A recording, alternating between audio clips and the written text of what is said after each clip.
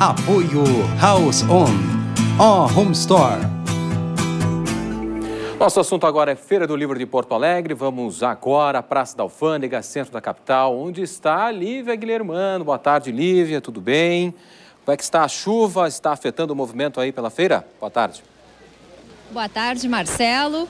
Pois é, antes de falar da movimentação por aqui, olha só como está o tempo no centro de Porto Alegre. Chove bastante.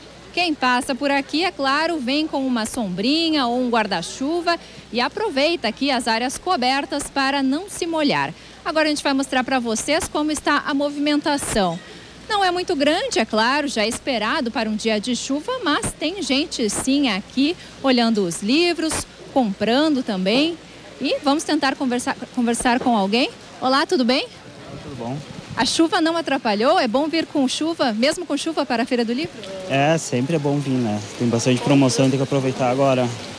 Você veio procurar algum livro especificamente? Não, não, tô procurando mais sebos mesmo, alguns títulos meio antigos que não se encontram mais em livrarias, né? E pelo preço também. Encontrou boas ofertas? Encontrei. Tá bom, muito obrigada. Bom, e milhares de pessoas circulam aqui pela Feira do Livro de Porto Alegre nos 17 dias de evento. Mas será que há um perfil do frequentador da feira? Pois é o que a gente vai saber agora na reportagem da Clarissa Lima. Na Feira do Livro de Porto Alegre, a variedade de títulos de obras é proporcional à variedade de pessoas que frequentam o evento. São milhares de visitantes que se cruzam no deslocamento de uma banca a outra, cada um com sua história de vida e um motivo para estar aqui. A chegada do primeiro filho foi a razão para este jovem casal visitar a feira. O futuro papai, incentivado pela futura mamãe, quer aprender com os livros sobre a paternidade. Para ele vai ser bom, né? Que aí já vai aprender um pouquinho, né, como lidar com criança. Primeira viagem não, que a gente costuma criar os irmãos, ex, e daí a gente aprende um pouco. Mas o da gente é outra coisa, né? Já o objetivo desses dois irmãos é bem diferente.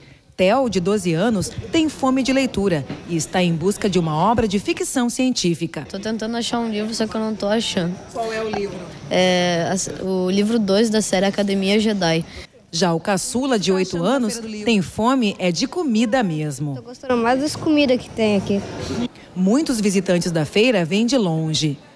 O Alfredo é psicólogo, porto-alegrense, mas está fora da capital gaúcha desde 1997. Ele vive em Paris, onde ele atua na área de psicologia e veio para uma conferência aqui na capital, justamente na semana da Feira do Livro de Porto Alegre. Alfredo, o que, que tu está achando da Feira do Livro? Ótimo para mim, está sendo um prazer. Fazia muitos anos que eu não tinha visto a Feira do Livro, ou seja, uns 15, 15 anos eu acho. Não conhecia toda essa extensão, então é um prazer que tenha coincidido essa conferência nesse período do ano, né? Então caiu legal. Esse público tão diversificado e às vezes difícil de classificar é observado por Sônia Zanqueta, que há quase 20 anos atua na coordenação da feira. Nós temos público de todas as faixas etárias, de todos os segmentos da sociedade, todo tipo de interesse.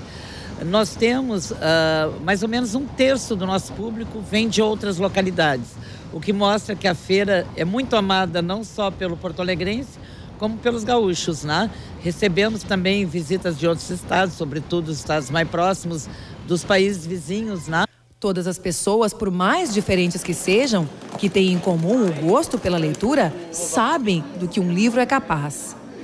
Dá um panorama completamente diferente daquilo que tem no dia a dia, seja filosofia, seja até um, livro de romance, ficção ele te ensina a pensar de outra maneira no dia a dia.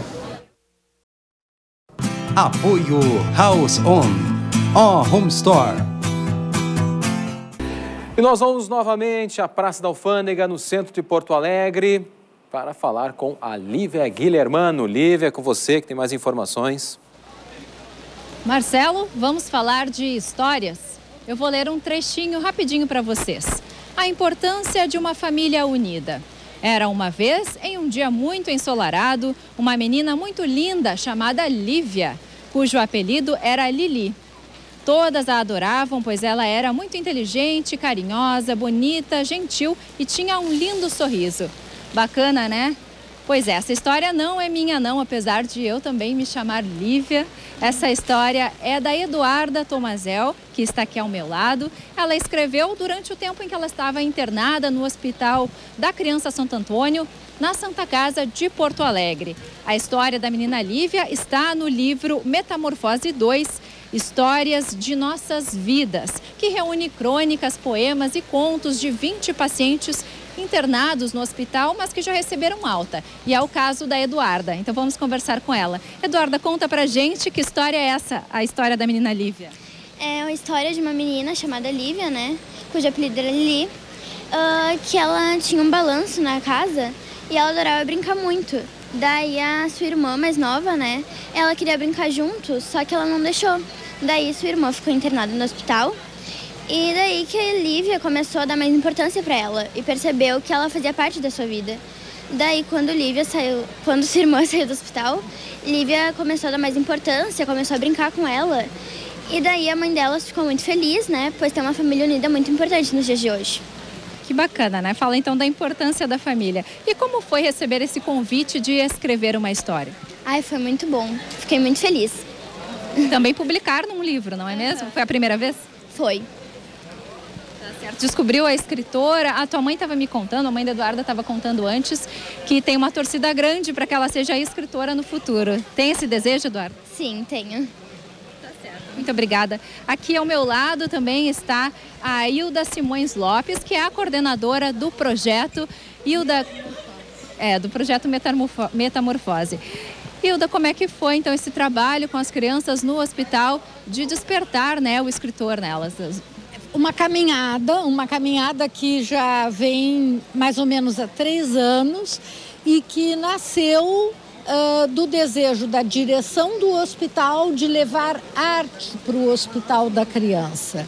E casualmente esse era um desejo meu, enquanto professora de criação literária e muito consciente da força da palavra escrita no auxílio à transformação da pessoa, eu tinha muita vontade de levar isso para adolescentes, crianças uh, em tratamento de saúde.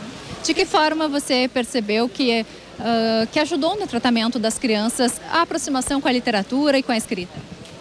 É incrível nós teríamos assim vários casos. Agora, um particularmente que é, é de um menino que está saindo nesse livro agora, que é o segundo livro, ele tinha saído da UTI com um problema sério e ele tinha perdido os movimentos e nós começamos a ter contato com ele e ele apenas com a cabeça ele nos fazia que ele queria sim trabalhar conosco.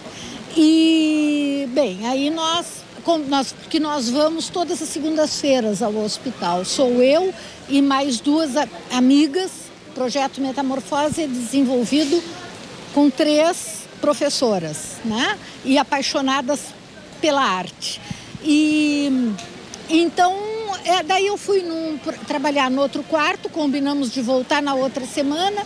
Esqueci um material no quarto dele e a Elda uma, uma das minhas companheiras foi buscar no quarto uh, desse menino. E quando ela chegou lá, ele tinha pedido para a mãe sentar a cama, ele estava com um papel, com a maior dificuldade, tentando escrever a letra do nome dele. Tá? Ele já é um adolescente, mas é, ele, aquilo foi uh, um caminho que se abriu para ele, né? E então e daí a gente seguiu trabalhando e enfim ele só conseguiu escrever um agradecimento que saiu no livro e agora ele está escrevendo fluentemente. Que bom, então. Parabéns pelo projeto. Muito obrigada, Eduarda. Muito obrigada, Hilda. O livro, então, vai ser autografado às quatro da tarde no Memorial do Rio Grande do Sul. Gostaria de dizer que o livro é dado, ele é distribuído porque nós temos o patrocínio da Unicred e o objetivo é esse: nós distribuímos gratuitamente em todo o hospital e hoje também ele vai ser distribuído, porque é para mostrar para as crianças doentes que elas podem olhar a vida por outros caminhos também. Tá certo, muito obrigada, parabéns para vocês. Bom, e a gente fica por aqui então. Uh, mais informações da Feira do Livro no segunda edição, às sete e meia da noite. E nós voltamos amanhã, à uma da tarde, no canal aberto. Marcelo, é com você. Apoio House On. Ó Home Store.